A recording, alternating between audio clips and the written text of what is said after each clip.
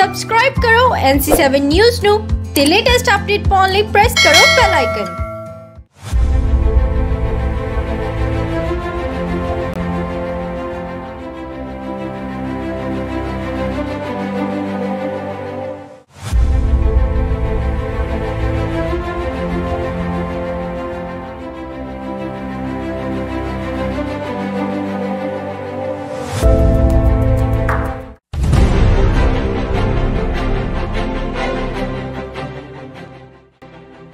Bulletin ਦੀ ਸ਼ੁਰੂਆਤ ਕਰਦੇ ਵੱਡੀ ਖਬਰ ਦੇ ਨਾਲ ਜਿੱਥੇ ਕਿ ਦੇਸ਼ 'ਚ ਕਰੋਨਾ ਮਹਾਮਾਰੀ ਦੇ ਵਾਧੇ ਮਾਮਲਿਆਂ 'ਚ 에ਅਰ ਇੰਡੀਆ ਨੇ ਭਾਰਤ ਤੋਂ ਅਮਰੀਕਾ, ਬ੍ਰਿਟੇਨ ਅਤੇ ਸਿੰਗਾਪੁਰ ਲਈ ਵਿਸ਼ੇਸ਼ ਉਡਾਨਾਂ ਤੇ ਉਡਾਨ ਭਰਨ ਲਈ ਬੁਕਿੰਗ ਲੈਣੀ ਸ਼ੁਰੂ ਕਰ ਦਿੱਤੀ ਹੈ। ਇਸ ਦਾ ਮਕਸਦ ਵਿਦੇਸ਼ਾਂ 'ਚ ਫਸੇ ਭਾਰਤੀਆਂ ਨੂੰ ਵਾਪਸ ਲਿਆਉਣ 'ਚ ਥੋੜੀ ਰਾਹਤ ਦੇਣਾ ਹੈ। ਦੱਸਦੇ ਕਿ 7 ਮਈ ਤੋਂ ਕੇਂਦਰ ਸਰਕਾਰ ਨੇ ਵਿਦੇਸ਼ਾਂ 'ਚ ਫਸੇ ਭਾਰਤੀਆਂ ਨੂੰ ਵਾਪਸ ਲਿਆਉਣ ਲਈ ਅਭਿਆਨ ਚਲਾਉਣ ਦਾ ਐਲਾਨ ਕੀਤਾ ਹੈ। ਜਾਣਕਾਰੀ ਮੁਤਾਬਿਕ ਇੱਕ ਹਫ਼ਤੇ ਦੌਰਾਨ ਵੱਡੇ ਪੱਧਰ ਤੇ ਇਨ੍ਹਾਂ ਵਿਸ਼ੇਸ਼ ਉਡਾਨਾਂ ਰਾਹੀਂ ਵਿਦੇਸ਼ਾਂ ਤੋਂ ਭਾਰਤੀਆਂ ਨੂੰ ਵਾਪਸ ਲਿਆਇਆ ਜਾਵੇਗਾ। 7 ਮਈ ਤੋਂ 14 ਮਈ ਤੱਕ ਦਿੱਲੀ ਅਤੇ ਮੁੰਬਈ ਤੋਂ New York, Chicago, Washington, London ਅਤੇ ਸਿੰਗਾਪੁਰ ਲਈ ਕਰੀਬ 17 ਉਡਾਨਾਂ ਸੰਚਾਲਿਤ ਕੀਤੀਆਂ ਜਾਣਗੀਆਂ।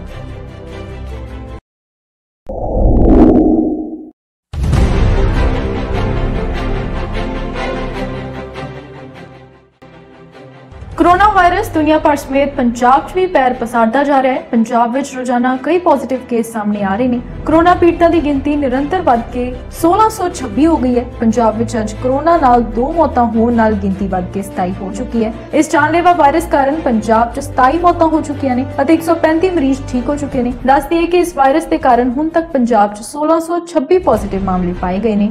ਇਹਨਾਂ 'ਚ ਅੰਮ੍ਰਿਤਸਰ 274 ਜਲੰਧਰ 5 ਲੁਧਿਆਣਾ 81 ਤਰਨਤਾਰਨ 87 ਮੋਹਾਲੀ 22 ਹੁਸ਼ਿਆਰਪੁਰ 77 ਪਟਿਆਲਾ 29 ਸੰਗਰੂਰ 59 ਨਵਾਂ ਸ਼ਹਿਰ 63 ਗੁਰਦਾਸਪੁਰ 75 ਸ਼੍ਰੀ ਮੁਕਤਸਰ ਸਾਹਿਬ 45 ਮੋਗਾ 39 ਫਰੀਦਕੋਟ 37 ਫਿਰੋਜ਼ਪੁਰ 26 ਫਾਜ਼ਿਲਕਾ 38 ਬਠਿੰਡਾ 39 ਬਰਨਾਲਾ 17 ਮਾਨਸਾ 6 ਫਤਿਹਗੜ੍ਹ ਸਾਹਿਬ 11 ਕਪੂਰਥਲਾ 16 ਰੋਪੜ 11 ਪੋਜ਼ਿਟਿਵ ਮਾਮਲੇ ਸਾਹਮਣੇ ਆ ਚੁੱਕੇ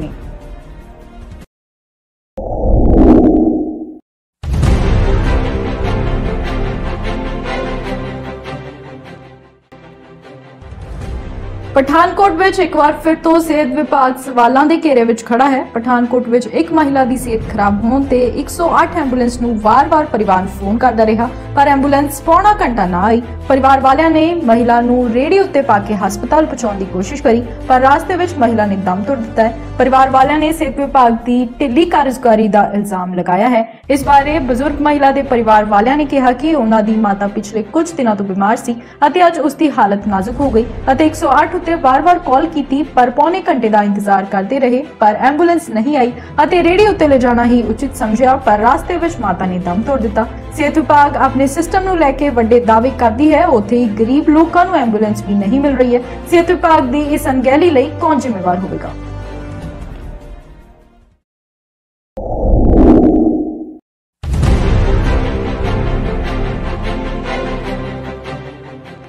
ਐਮਬੈਸਡਰ ਆਫ ਹੋਪ ਪੰਜਾਬ ਸਰਕਾਰ ਵੱਲੋਂ ਸ਼ੁਰੂ ਕੀਤੀ ਗਈ ਮੁਹਿੰਮ ਨੂੰ ਪਹਿਲੇ ਹਫ਼ਤੇ ਦੇ ਅੰਦਰ ਅੰਦਰ ਤਕਰੀਬਨ 1,05,898 ਸਕੂਲੀ ਵਿਦਿਆਰਥੀਆਂ ਦੀ ਐਂਟਰੀ ਮਿਲੀ ਹੈ। ਇਸ ਵਿਦਿਆਰਥੀਆਂ ਨੇ ਆਪਣੇ ਵੀਡੀਓ ਸਾਂਝੇ ਕਰ ਐਂਟਰੀ ਕੀਤੀ ਸੀ ਜਿਸ ਨੇ ਸਭ ਤੋਂ ਵੱਧ ਐਂਟਰੀਆਂ ਦਾ ਵਿਸ਼ਵ ਰਿਕਾਰਡ ਤੋੜ ਦਿੱਤਾ ਹੈ। ਇਹ ਮੁਹਿੰਮ ਬਾਰੇ ਸੂਬੇ ਦੇ ਵਿਦਿਆਰਥੀਆਂ ਲਈ ਲਾਕਡਾਊਨ ਦੌਰਾਨ ਆਪਣੀ ਰਚਨਾਤਮਕਤਾ ਨੂੰ ਸਾਂਝਾ ਕਰਨ ਲਈ ਸ਼ੁਰੂ ਕੀਤੀ ਗਈ ਹੈ। ਵਿਦਿਆਰਥੀਆਂ ਨੂੰ ਉਤਸ਼ਾਹਿਤ ਕਰਨ ਲਈ ਸਿੱਖਿਆ ਮੰਤਰੀ ਵਿਜੇਂਦਰ ਸਿੰਗਲਾ ਨੇ 29 ਅਪ੍ਰੈਲ ਨੂੰ ਇਸ ਮੁਹਿੰਮ ਦੀ ਸ਼ੁਰੂਆਤ ਕੀਤੀ ਸੀ। ਉਹਨਾਂ ਵਿਦਿਆਰਥੀਆਂ ਨੂੰ ਲਾਕਡਾਊਨ ਦੀ ਨਕਾਰਾਤਮਕਤਾ ਨੂੰ ਦੂਰ ਕਰਨ ਲਈ ਸਕਾਰਾਤਮਕ ਵਿਚਾਰਾਂ ਨਾਲ ਆਉਣ ਲਈ ਉਤਸ਼ਾਹਿਤ ਕੀਤਾ ਸੀ। ਬੱਚੇ ਵਿੱਚ ਹਿੰਦੁਸਤਾਨ ਦੇ ਹੀ ਨਹੀਂ, ਬਾਕੀ ਮੁਲਕਾਂ ਦੇ ਕੱਲੇ-ਕੱਲੇ ਬੱਚੇ ਦੇ ਵਿੱਚ ਜੋ ਟੈਲੈਂਟ ਹੁੰਦਾ ਹੈ, ਆਪਾਂ ਉਸ ਨੂੰ ਬਾਹਰ ਕੱਢਣ ਵਿੱਚ ਕਾਮਯਾਬੀ ਹਾਸਲ ਕਰ ਸਕੇ ਉਸ ਬੱਚਿਆਂ ਦੇ ਥਾਟ ਨੂੰ ਆਪਾਂ ਬਾਹਰ ਲੈ ਕੇ ਆ ਸਕੇ ਇਸ ਤੋਂ ਇਲਾਵਾ ਮੈਂ ਤੁਹਾਨੂੰ ਇਹ ਜ਼ਰੂਰ ਦੱਸਣਾ ਚਾਹੁੰਦਾ ਕਿ ਸਭ ਤੋਂ ਵੱਡੀ ਖੁਸ਼ੀ ਦੀ ਗੱਲ ਮੇਰੇ ਵਾਸਤੇ ਇਹ ਹੈ ਜਿਸ ਗੱਲ ਨੂੰ ਮੈਂ ਸਮਝਦਾ ਵੀ ਨਹੀਂ ਸੀ ਨਾ ਮੈਂ ਕਦੇ ਸੋਚਿਆ ਸੀ ਕਿ ਇੰਨਾ ਵੱਡਾ ਹੰਗਾਰਾ ਇਸ ਐਮਬੈਸਡਰਸ ਆਫ ਹੋਪ ਦੀ ਕੈਂਪੇਨ ਨੂੰ ਮਿਲੂਗਾ। ਔਰ 6 ਦਿਨ ਇਹ ਕੈਂਪੇਨ ਚੱਲਿਆ। ਔਰ ਉਸ ਤੋਂ ਬਾਅਦ ਸਾਡੇ ਲੋਕਾਂ, ਸਾਡੇ ਕੋਲ ਲੋਕਾਂ ਦੀ ਮੰਗ ਆਈ ਕਿ ਇਸ ਨੂੰ 2 ਦਿਨ ਵਧਾਇਆ ਜਾਵੇ। ਤੇ ਅਸੀਂ ਪਹਿਲਾਂ 6 ਦਿਨ ਲਈ ਸ਼ੁਰੂ ਕੀਤਾ ਸੀ ਤੇ ਫਿਰ ਅਸੀਂ ਇਹਨੂੰ 8 ਦਿਨ ਤੇ ਵਧਾਇਆ। ਔਰ ਮੈਨੂੰ ਬੜੀ ਖੁਸ਼ੀ ਹੈ ਦੱਸ ਕੇ ਕਿ 1 ਲੱਖ 5698 ਬੱਚਿਆਂ ਨੇ ਇਸ ਦੇ ਵਿੱਚ ਪਾਰਟਿਸਿਪੇਟ ਕੀਤਾ ਹੈ ਔਰ ਮੈਂ ਬਹੁਤ ਟੱਚਡ ਹੈ।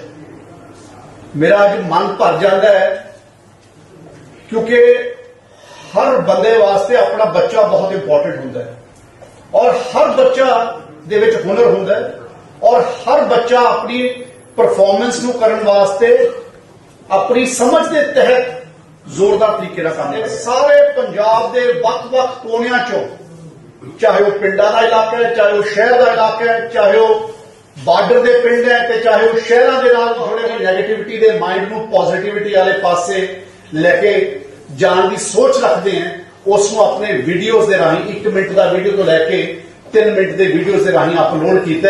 ਮੈਂ ਉਸ ਗੱਲ ਦਾ ਆਪਣੇ ਮਨ ਦੇ ਵਿੱਚ ਉਹ ਬੱਚਿਆਂ ਦਾ ਬੜਾ ਆਭਾਰ ਵਿਅਕਤ ਕਰਦਾ ਔਰ ਮੈਂ ਤੁਹਾਨੂੰ ਸਾਰਿਆਂ ਨੂੰ ਵੀ ਦੱਸਣਾ ਚਾਹੁੰਦਾ ਜਿੱਥੇ ਤੱਕ ਜ਼ਿਲ੍ਹਿਆਂ ਦੀ ਗਿਣਤੀ ਆਉਂਦੀ ਹੈ, ਹਲੇ ਤਾਂ ਲੋਕਾਂ ਦੀ ਪਾਰਟਿਸਿਪੇਸ਼ਨ ਦੀ ਗੱਲ ਆਈ ਹੈ। ਪਹਿਲੇ ਨੰਬਰ ਤੇ ਲੁਧਿਆਣੇ ਜ਼ਿਲ੍ਹੇ ਨੇ ਪਾਰਟਿਸਿਪੇਟ ਕੀਤਾ ਹੈ। 16000 ਤੋਂ ਵੀ ਵੱਧ ਐਂਟਰੀਆਂ ਲੁਧਿਆਣੇ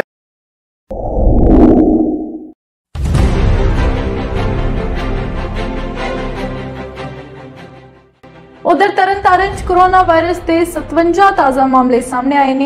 ਇਹਨਾਂ ਨਵੇਂ ਮਾਮਲਿਆਂ ਨਾਲ ਜ਼ਿਲ੍ਹੇ 'ਚ ਕੁੱਲ 144 ਕੋਰੋਨਾ ਪੋਜ਼ਿਟਿਵ ਕੇਸ ਸਾਹਮਣੇ ਆ ਚੁੱਕੇ ਨੇ। ਪੰਜਾਬ 'ਚ ਕੁੱਲ ਕੋਰੋਨਾ ਪੋਜ਼ਿਟਿਵ ਕੇਸ 1527 ਹੋ ਗਏ ਨੇ। ਸੂਬੇ 'ਚ ਕੋਰੋਨਾ ਵਾਇਰਸ ਨਾਲ ਮਰਨ ਵਾਲਿਆਂ ਦੀ ਗਿਣਤੀ 26 ਹੋ ਚੁੱਕੀ ਹੈ। ਰਾਹਤ ਭਰੀ ਖਬਰ ਇਹ ਹੈ ਕਿ 117 ਮਰੀਜ਼ ਸਿਹਤਯਾਬ ਵੀ ਹੋ ਚੁੱਕੇ ਨੇ। ਇਸ ਵਕਤ ਪੰਜਾਬ 'ਚ ਦੂਜੇ ਰਾਜਾਂ ਤੋਂ ਪਰਤੇ 969 ਲੋਕ ਕੋਰੋਨਾ ਵਾਇਰਸ ਨਾਲ ਸੰਕਰਮਿਤ ਨੇ। ਇਹਨਾਂ 'ਚ ਨਾਦੇੜ ਤੋਂ ਆਏ ਸ਼ਰਧਾਲੂ ਅਤੇ ਦੂਜੇ ਰਾਜਾਂ ਤੋਂ ਆਏ ਮਜ਼ਦੂਰ ਸ਼ਾਮਿਲ ਨੇ।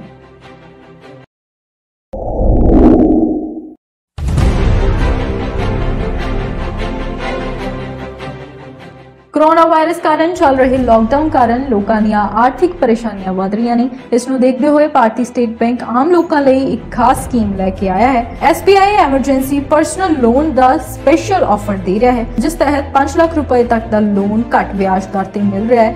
ਇਹ ਆਫਰ ਦੀ ਇੱਕ ਖਾਸ ਗੱਲ ਇਹ ਹੈ ਕਿ ਗ੍ਰਾਹਕ ਨੂੰ ਪਿਛਲੇ 6 ਮਹੀਨਿਆਂ ਲਈ ਕੋਈ EMI ਦਾ ਭੁਗਤਾਨ ਨਹੀਂ ਕਰਨਾ ਹੋਵੇਗਾ। SBI ਮੁਤਾਬਿਕ ਲੋਨ ਲਈ ਗ੍ਰਾਹਕ ਘਰ ਬੈਠੇ ਅਪਲਾਈ ਕਰ ਸਕਦੇ ਨੇ। ਬੈਂਕ ਦਾ ਕਹਿਣਾ ਹੈ ਕਿ ਇਹ ਲੋਨ ਮਹਿਜ 45 ਮਿੰਟ ਵਿੱਚ ਸੈਕਸ਼ਨ ਕੀਤਾ ਜਾ ਰਿਹਾ ਹੈ। ਲੋਨ ਤੇ ਸਾਲਾਨਾ 10.5% ਦੀ ਦਰ ਨਾਲ ਵਿਆਜ ਦੇਣਾ ਹੋਵੇਗਾ।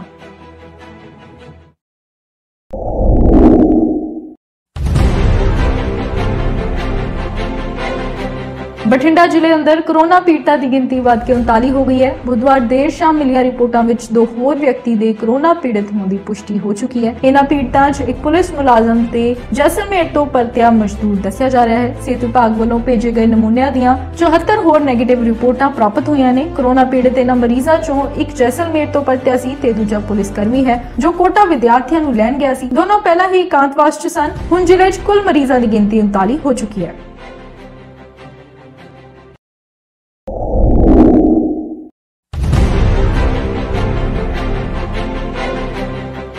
ਪੰਜਾਬ ਸਰਕਾਰ ਕਰਫਿਊ ਦੌਰਾਨ ਲਗਾਤਾਰ ਲੋਕਾਂ ਨੂੰ ਕੁਝ ਰਾਹਤ ਦੇ ਰਹੀ ਹੈ। ਪੰਜਾਬ ਸਰਕਾਰ ਨੇ 8 ਮਈ ਤੋਂ ਸੇਵਾ ਕੇਂਦਰ ਵੀ ਖੋਲਣ ਦਾ ਫੈਸਲਾ ਕੀਤਾ ਹੈ। ਸੇਵਾ ਕੇਂਦਰ ਸਵੇਰੇ 9 ਵਜੇ ਤੋਂ ਲੈ ਕੇ ਸ਼ਾਮ 5 ਵਜੇ ਤੱਕ ਖੁੱਲਣਗੇ। ਪਹਿਲੇ ਪੜਾਅ ਵਿੱਚ 467 ਸੇਵਾ ਕੇਂਦਰ ਖੋਲੇ ਜਾਣਗੇ ਅਤੇ ਸੇਵਾ ਕੇਂਦਰਾਂ ਵਿੱਚ ਲੋਕਾਂ ਨੂੰ 153 ਸੇਵਾਵਾਂ ਮੁਹੱਈਆ ਕੀਤੀਆਂ ਜਾਣਗੀਆਂ। ਸੇਵਾ ਕੇਂਦਰ ਸੀਮਿਤ ਸਟਾਫ ਨਾਲ ਹੀ ਖੋਲੇ ਜਾਣਗੇ। ਇਸ ਦੇ ਇਲਾਵਾ ਪੰਜਾਬ ਵਿੱਚ ਹੁਣ ਦੁਕਾਨਾਂ ਸਵੇਰੇ 7 ਵਜੇ ਤੋਂ ਦੁਪਹਿਰ 3 ਵਜੇ ਤੱਕ ਖੁੱਲਣਗੀਆਂ, ਜਦਕਿ ਕੁਝ ਹੀ ਦਿਨ ਪਹਿਲਾਂ ਸਰਕਾਰ ਨੇ ਦੁਕਾਨਾਂ ਖੋਲਣ ਦਾ ਸਮਾਂ 9 ਵਜੇ ਤੋਂ ਦੁਪਹਿਰ 1 ਵਜੇ ਤੱਕ ਦਾ ਕੀਤਾ ਸੀ। ਇਹਨੇ ਘੱਟ ਸਮੇਂ ਨੂੰ ਲੈ ਕੇ ਦੁਕਾਨਾਂ ਤੇ ਭੀੜ ਨਾ ਹੋਵੇ, ਇਸ ਲਈ ਇਹਨਾਂ ਨੂੰ ਖੋਲਣ ਦੇ ਸਮੇਂ ਨੂੰ 2 ਘੰਟੇ ਹੋਰ ਵਧਾ ਦਿੱਤਾ ਗਿਆ ਹੈ। ਇਸ ਤੋਂ ਇਲਾਵਾ ਬੈਂਕਾਂ ਨੂੰ ਵੀ ਹੁਣ ਜਨਤਕ ਕੰਮ ਸਵੇਰੇ 9 ਵਜੇ ਤੋਂ 1 ਵਜੇ ਤੱਕ ਕਰਨ ਲਈ ਕਿਹਾ ਗਿਆ ਹੈ। ਪਰ ਗੈਰ ਜਨਤਕ ਕੰਮ ਉਹ ਆਪਣੀ ਸਹੂਲਤ ਤੇ ਲੋੜ ਅਨੁਸਾਰ ਕਰ ਸਕਦੇ ਨੇ। ਵਧੀਕ ਚੀਫ ਸਕੱਤਰ ਗ੍ਰੈਸ ਤੀਸ਼ ਚੰਦਰਾ ਨੇ ਇਹ ਆਦੇਸ਼ ਜਾਰੀ ਕਰਦਿਆਂ ਸਾਰੇ ਡਿਪਟੀ ਕਮਿਸ਼ਨਰਾਂ ਨੂੰ ਕਿਹਾ ਕਿ ਇਹਨਾਂ ਆਦੇਸ਼ਾਂ ਨੂੰ ਤੁਰੰਤ ਲਾਗੂ ਕਰਾਉਣ ਅਤੇ ਸਰੀਰਕ ਦੂਰੀ ਆਦਿ ਦੀ ਪਾਲਣਾ ਯਕੀਨੀ ਬਣਾਉਣ।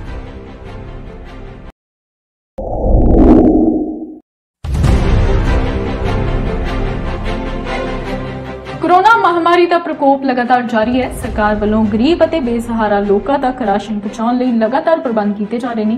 ਅਜਿਹਾ ਇੱਕ ਉਪਰਾਲਾ ਨਗਰ ਕੌਂਸਲ ਰਾਮਾ ਮੰਡੀ ਦੇ ਪ੍ਰਬੰਧਕਾਂ ਵੱਲੋਂ ਵੀ ਕੀਤਾ ਗਿਆ। ਸ਼ਹਿਰ ਦੇ ਵੱਖ-ਵੱਖ ਵਾਰਡਾਂ ਵਿੱਚ ਟੀਮਾਂ ਬਣਾ ਕੇ ਸਰਕਾਰ ਵੱਲੋਂ ਗਰੀਬ ਅਤੇ ਬੇਸਹਾਰਾ ਲੋਕਾਂ ਤੱਕ ਰਾਸ਼ਨ ਪਹੁੰਚਾਇਆ ਗਿਆ ਤਾਂ ਜੋ ਕੋਈ ਵੀ ਵਿਅਕਤੀ ਇਸ ਮਹਾਮਾਰੀ ਦੌਰਾਨ ਭੁੱਖੇ ਪੇਟ ਨਾ ਸੌਂ।